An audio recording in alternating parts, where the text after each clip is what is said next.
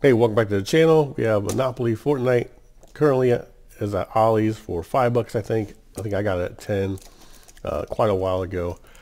Some character tokens here, the Fortnite. Uh, use loot chest items, action die to battle your opponents. All right, so it's probably gonna play a little bit different than your standard Fortnite. I'm gonna open it up here, check it out.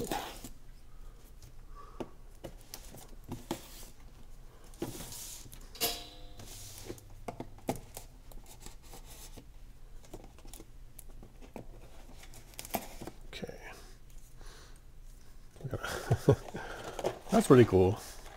So, you know, you know the game, you have your ammo box here. You have your, your loot chest. What's this? It's just Fortnite art, looks like. Yep. Board. What's different about Monopoly Fortnite? The last player standing wins in this game. So you have health points, uh, drop from the battle bus, action dice, storm approaches, captures, traps. Uh, I'm kind of interested in playing this actually. In a regular Monopoly, what we do, we put a time limit on it whenever we play, like an hour and a half. And whoever's got the most money at the end of a regular Monopoly game, uh, at the end of the hour and a half, that's how we play it. So they win at the end of the time. Uh, all right, so we got different dice here. Nice bright board. On here, it looks like you have minus ones, plus ones. And these are our health tokens, it looks like, and dice. Okay, got them all. So you have a standard six-sided and a special dice here.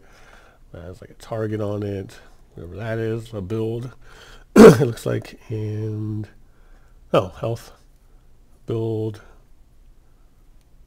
Not sure what that is.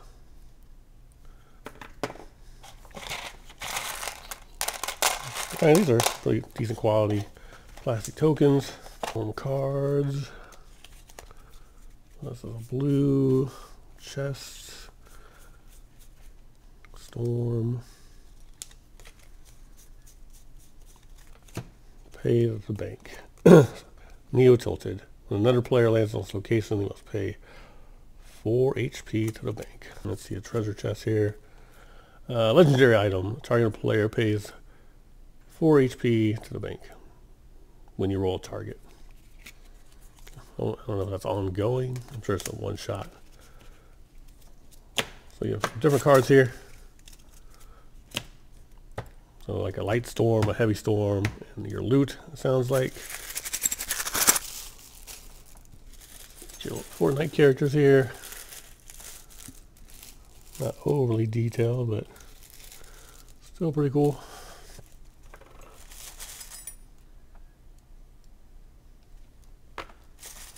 And a variety of emote poses.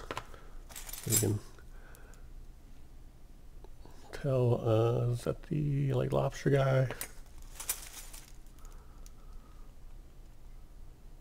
There's the cat. See what else we got here. It's the knight. Every time a player passes go, they must draw a storm card. The card will tell you which border space you must permanently cover with a storm. Oh, okay. Action dice. What do walls do? When you reach a space with a wall, no matter who places it there, you must end your movement there and carry out the action on the space, then remove the wall. Put it in the wall card pile. Hmm. You run out of HP. As soon as you lose your last HP, you're out of the game. Take your character off the board, place any loot chest items you have onto the space where you lost your last HP. The next person to pass the landing space picks them all up. Okay. The game ends when only one player is left standing. Yeah, this seems like a, a more fun version of, of Monopoly, just by kind of just checking it out in an overview type manner. What HP do you start with? What's the question here? Let me see. Each player takes 15 uh, health points. Okay. You never have more than 15 HP. If you have 15 HP on anything action requires you to collect more, do not collect any. Okay. Punch out the wall cards. Fold them. Okay, so they're each a wall card, so you for me, that was like one big thing. All right, so you, these are all the wall cards. They're a stack. So you have an additional stack of cards. So you roll a wall and a three, you go one, two, three, you can put a wall here. But a bit of an overview. So it seems pretty fun. You're gonna roll your dice. Did I explain? This is heal HP. Does explain that? Did I skip that? Oh yeah, I did skip it. when you roll the bandages, collect 2 HP from the bank. Alright, let's roll something else. So we got a target. Um, we're going this way. One, two, three, four, five, six. So this has a minus one on it, so I would lose one.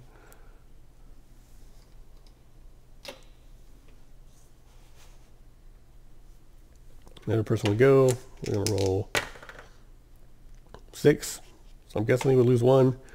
And I rolled this. They're technically in my line of sight, so I'm guessing they would lose HP. Take your HP, go back to the bank, so on and so on.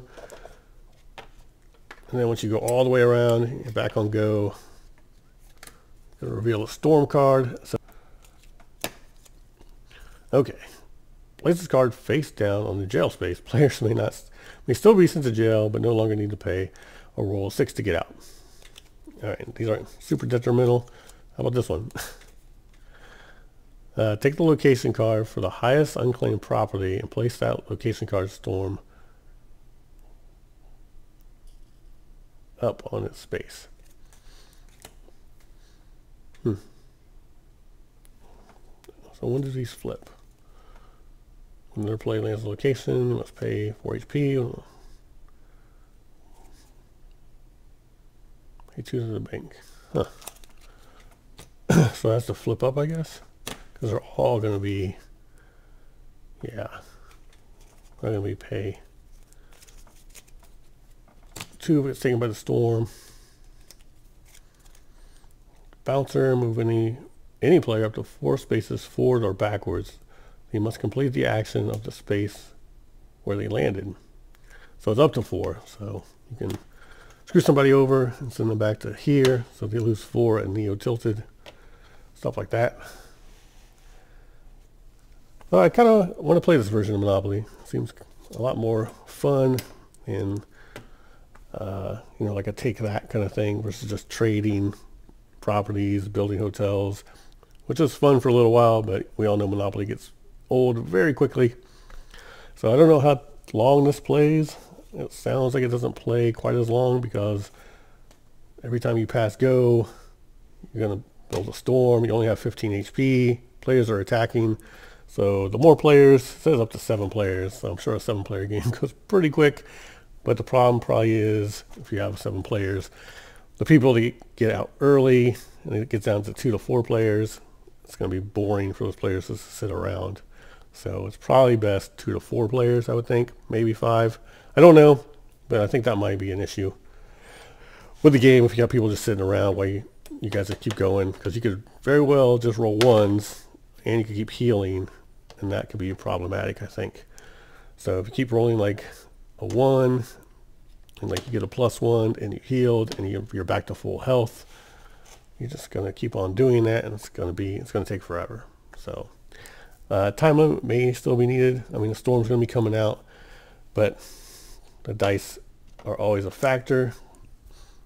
So that could be an issue I see. But I do like the idea of like the attacking and line of sight. And if you're in a corner, you can attack either way. So if someone's here or here and you're here, you can attack. If you roll, if you roll your crossfires and you can modify it. If you have something to modify it to do more damage, that's cool. Uh, the wall building, that may also slow things down. And thanks for watching Triple R. Have a good day or night wherever you are. Smash that like button. Hit subscribe. Thanks.